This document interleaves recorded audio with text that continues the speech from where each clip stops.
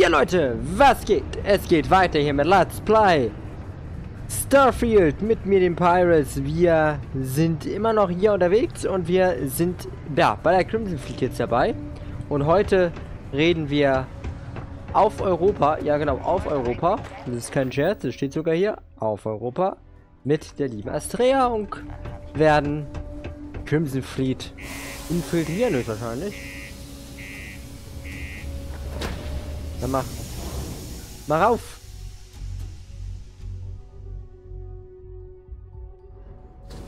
Ich bin selbst gespannt. Ich bin selbst gespannt. Vielleicht jetzt wird es wird hier. Gut, einmal hier lang.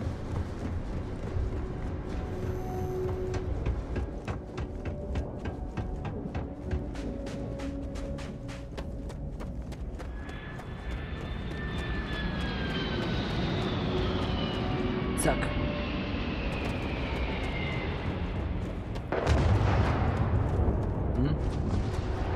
Boah, wie cool. Nice. Okay.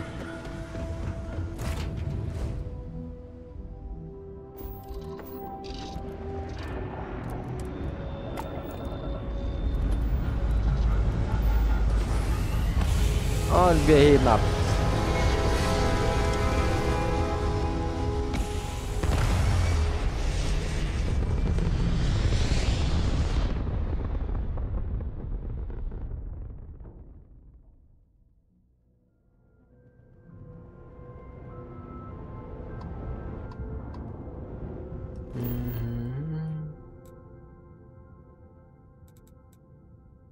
Hm?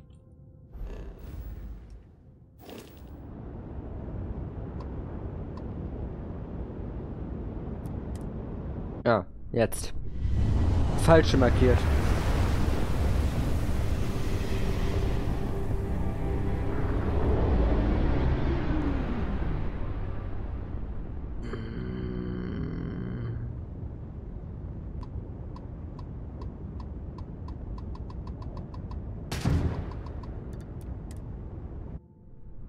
Und auf nach Europa. Europa, Alter, das ist auch so ein Name. Ach, sieh mal an, wer endlich den Mut hat. Also, Superstar. Adler behauptet, du wärst gut genug, um bei uns mitzumachen.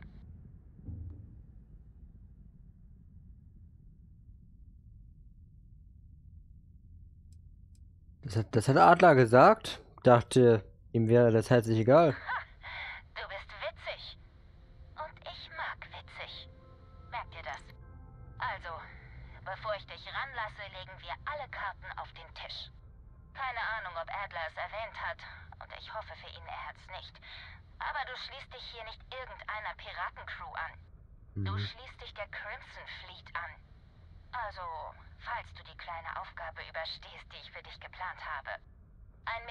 Medizinisches Versorgungsschiff namens Regana springt in den Orbit von Enceladus.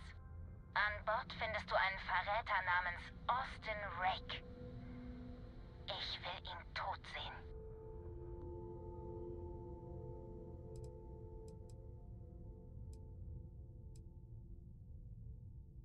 Hm. Das ist so gut wie. Erledigt ist es erst, wenn Rake nicht mehr atmet. Ja, wieder so gut wie. Wenn er mir zugehört hättest. Und lass mich nicht zu lange warten. Nein, nein, nein. Na gut, komm. Warum willst du aus, aus dem Rake tot sehen? Rake hat früher zur Fleet gehört. Scheiße, ich habe überhaupt erst für ihn gebürgt. Damals hatte er noch einen anderen Namen und eine andere Identität.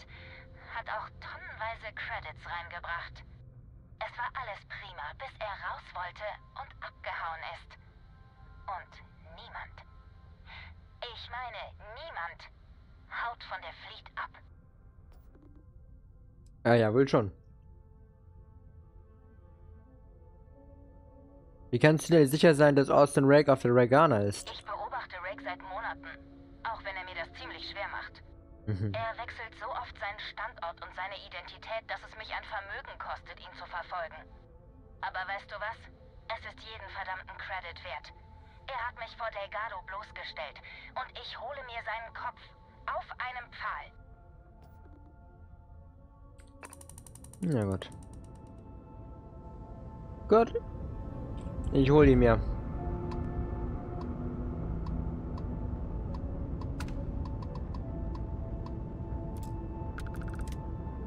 Gut, dann holen wir uns diesen Austin Rake. Mal gucken, ob wir ihn umbringen müssen. Ich versuche mal nicht. Ich will ihn eigentlich im Leben lassen.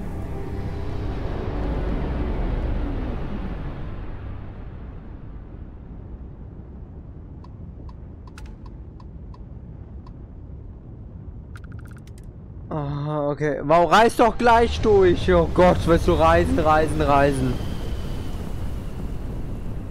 Ein Ziel, nächstes Mal reisen, ja, einfach mal durchzureisen, ja.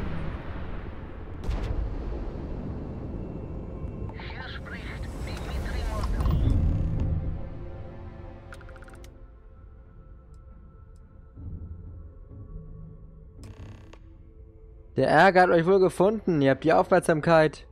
Oder findet eine Möglichkeit, äh, Ross Ray zu verschonen. Okay. Äh, der Ärger euch wohl gefunden. Ihr habt die, ihr habt die Aufmerksamkeit der Crimson Fleet, Crimson Fleet auf euch gezogen. Ich hatte es befürchtet. Wir sind nicht für den Kampf ausgerüstet, okay? Was genau willst du?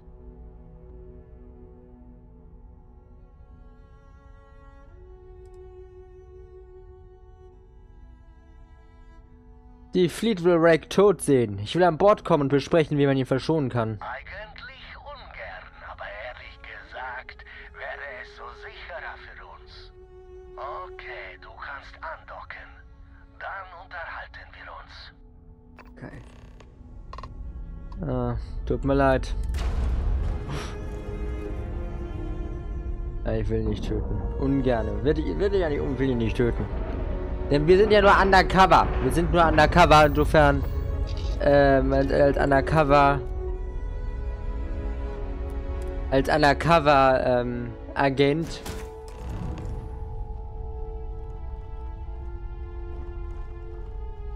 Gut. Ähm, ist ja meine Pflicht. Oh Gott, ganz ruhig. Ihr denkt, was denkst du dir mit deinem Brotmesser, hä? Meinst du wirklich? Du hättest eine Chance? Oh Mann, ey. Also zwei mit Brot, drei mit Brotmesser, einer mit einer Schusswaffe, der meint mit seinem Laser besonders gruselig zu wirken und der nächste, der irgendwo in die Ecke steuert. Ja, ist er doch. Ihr habt doch einen Knall. Ich weiß nicht, warum du hier bist. Hättest du uns töten wollen, wäre das von deinem Schiff ausgegangen. Wär's um unsere Fracht gegangen, hätten wir sie abwerfen können. Ich bin wohl einfach mal still und lass dich reden.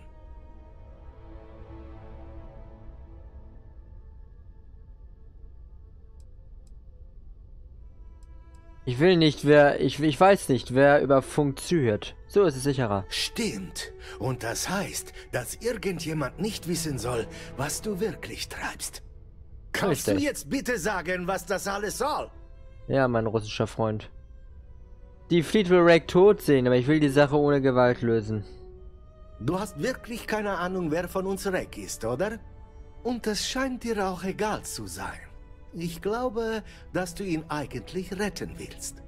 Okay. Ja. Ich habe eine Idee. Wir streichen seinen Namen von der Passagierliste, als wäre er nie an Bord gewesen.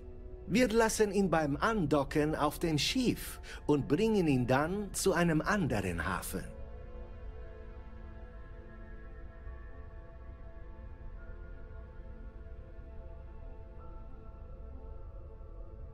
Liefert ihn ähm, der Sys der Sys-Dev aus. Wenn die Fleet von diesem Deal erfährt, sind wir beide in Gefahr. Wir wollen nichts mit der Fleet zu tun haben. Siehst du? Ist das okay für dich, Austin? Habe ich eine Wahl? Sieht nicht so aus. Dann sind wir uns einig. Du gehst zurück auf dein Schiff und wir sorgen dafür, dass Reg nie auf unserem war. Und falls deine Bosse misstrauisch werden, hier, wir hatten noch eine zusätzliche Kiste Material, falls eine beschädigt wird. Das sollte beweisen, dass du nicht zum Feilschen hier warst.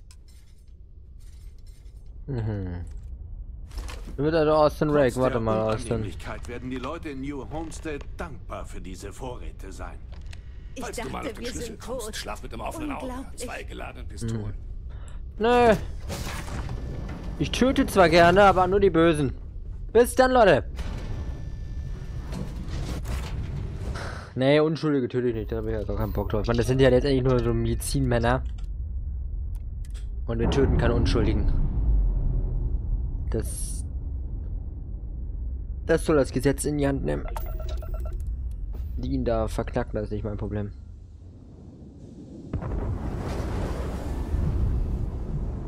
Gut, bis dann. So. Wir haben es geschafft. Easy. Zum Jupiter reisen.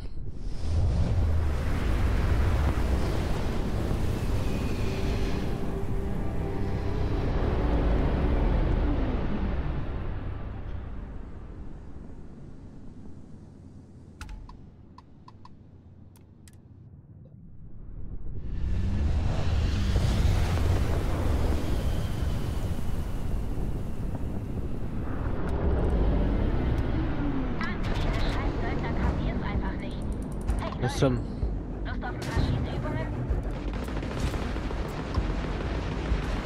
Ja, weißt du... wa- wa- Was soll ich denn da machen? Ich will einfach gleich beballert, Alter. Och, Leute.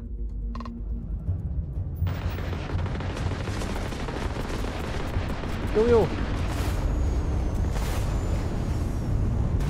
So, die.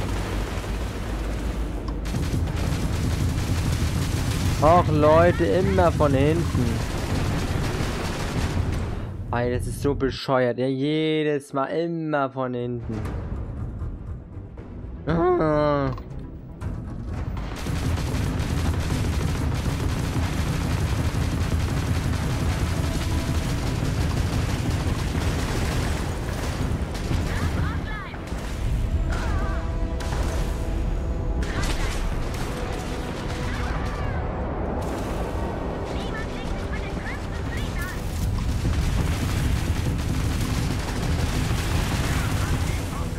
Genau, niemand lädt den grünen Fieder. Dagegen speichern kann ich jetzt nicht, weil ich zu wenig Schutzschild habe.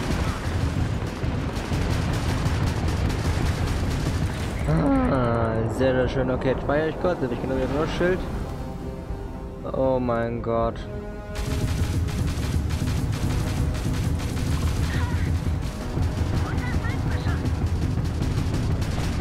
Ah, zack.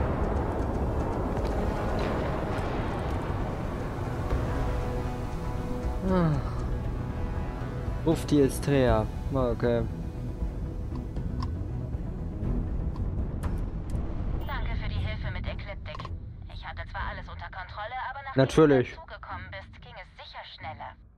Also, was ist mit der Ragana? Gib mir gute Neuigkeiten, dann können wir feiern gehen. Ah ja, ne? Würde ich auch ganz gern.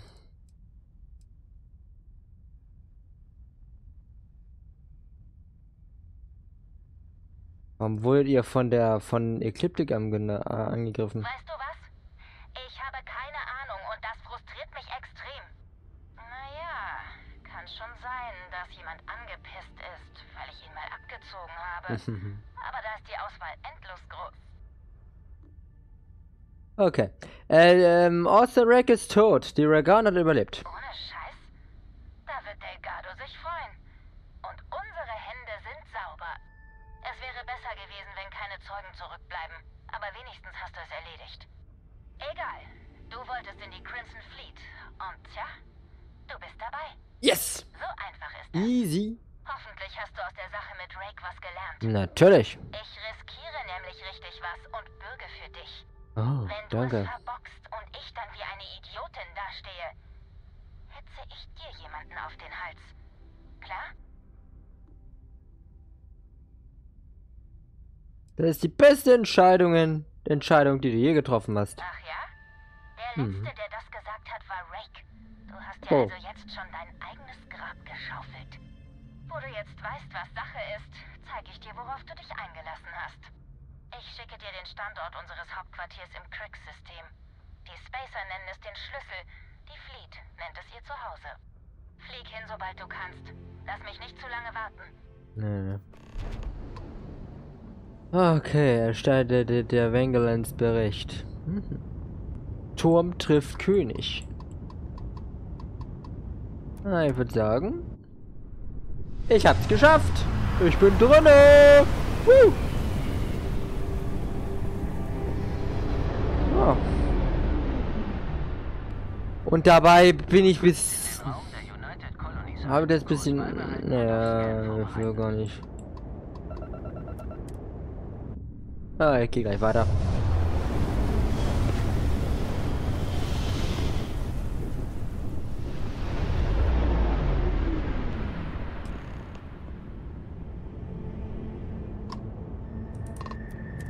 Und andocken. Siehst du, wir haben keinen getötet.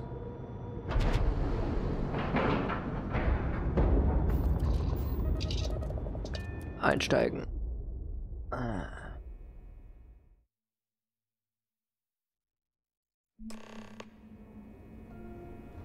Commander Ikande will dich sehen. Komm mit. Naja, ja. Ich hatte einen Freund auf der Ragana. Ich hoffe, ich sehe ihn beim nächsten Landurlaub. Ah, Okay. Warum muss ich denn jemand folgen? Für die zwei Meter. Erzengel soll mal für ein. Wir haben die Nachricht der Ragana wegen Austin Rake bekommen. Er wurde unbemerkt an einem anderen Hafen abgesetzt. Er wird sich für einiges rechtfertigen müssen.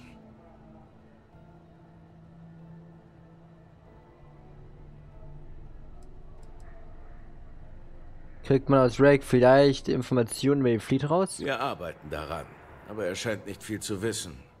Als Scheiße. Köder ist er vielleicht nützlicher. Wir behalten ihn vorerst in der Arrestzelle. Vielleicht kannst du ihn dort mal besuchen? Er freut sich sicher, dich zu sehen.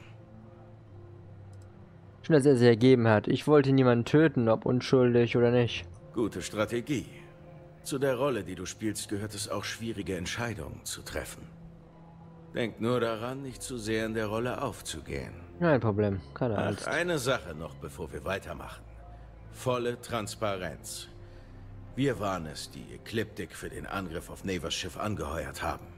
Oh. Nach der Sache mit der Ragana gab es die Sorge, dass du Probleme haben könntest, dir Nevers Vertrauen zu verdienen. Indem du sie gerettet hast, konnte das verhindert werden.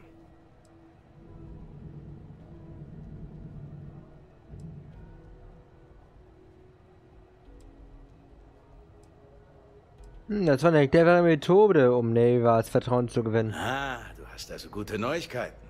Hat die Fleet dich aufgenommen? Scheinbar habe ich den ersten Test bestanden. Dann hat's geklappt. Du bist drin. Klingt, als würde alles laufen wie erwartet. Jetzt ist Zeit für die nächste Phase der Mission. Unsere Infos zu Sasha waren korrekt. Nachdem wir von deiner Interaktion mit Adler Camp erfahren hatten, haben wir dein Treffen mit Neva Mora überwacht. Unseren Akten zufolge ist sie die Nummer zwei. Wenn du dich also mit ihr gut stellst, bist du in der Crimson Fleet. Was weißt du über Neva? Ihre Akte hat ungefähr das Volumen von Sol. Sie hat jung angefangen als Straßenratte in Neon und sich bis zur Nummer zwei hochgearbeitet. Sie ist knallhart. Du darfst sie auf keinen Fall unterschätzen. Es läuft alles nach Plan. Ja, du hast deinen ersten Test bestanden und lebst noch.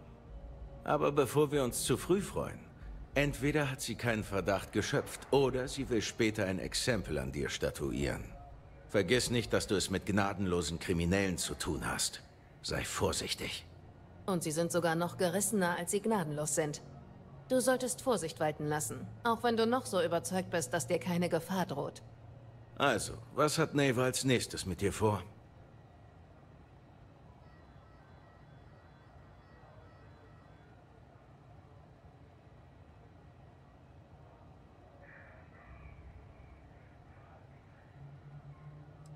Ich habe die Koordinaten der Basis der Crimson Fleet erhalten. Hervorragend.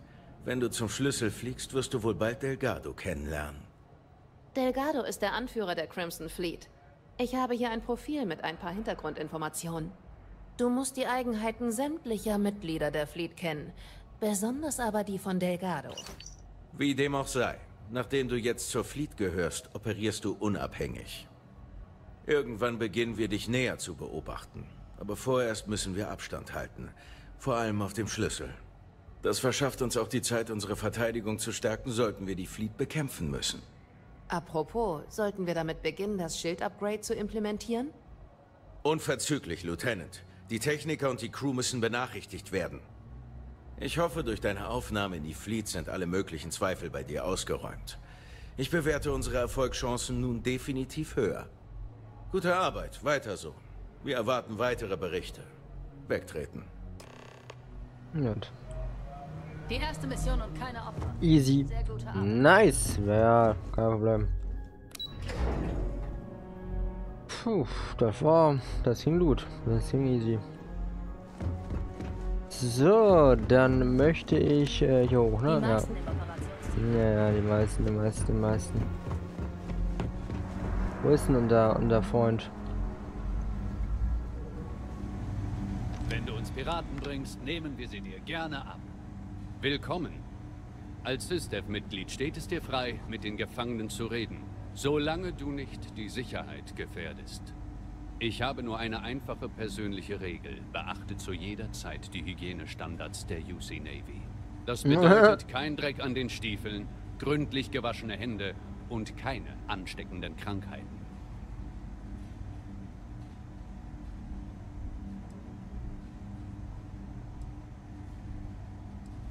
Tut mir leid, dir das sagen zu müssen. Ich bin ein kleiner Schmutzfink. Ah, du musst dann wohl Commander Ikandes Malwurf sein.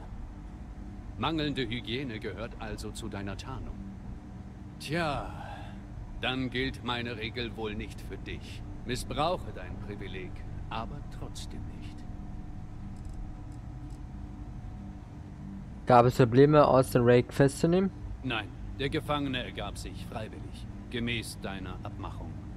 Dürfte der sicherste Ort für ihn sein, wenn die Fleet ihn tot sehen will. Du solltest mit ihm sprechen. Er hat bestimmt eine Menge zu erzählen. Brauchst du als Arrestoffizier, als brauchst du als Arrestoffizier Offi als Offizier was von mir? Ja, ich müsste dich um einen Gefallen bitten. Soweit ich weiß, beinhaltet dein Undercover-Job einen Besuch im Hauptquartier der Fleet. Dem Schlüssel. Falls du dort irgendwas findest, das mit der Geschichte der Fleet zusammenhängt, würde mich das sehr interessieren.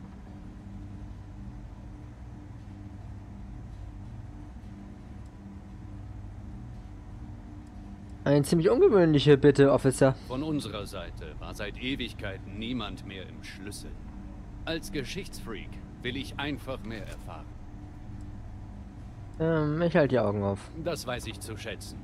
Ich habe Gerüchte über Audiologs eines Interviews gehört, das der Gründer der Fleet, Jasper Criggs, auf dem Schlüssel gab. Mich interessiert alles, was er über seine Zeit im Gefängnis und die Behandlung der Gefangenen zu sagen hatte. Falls du etwas derartiges findest, bring es hierher und wir hören es uns an.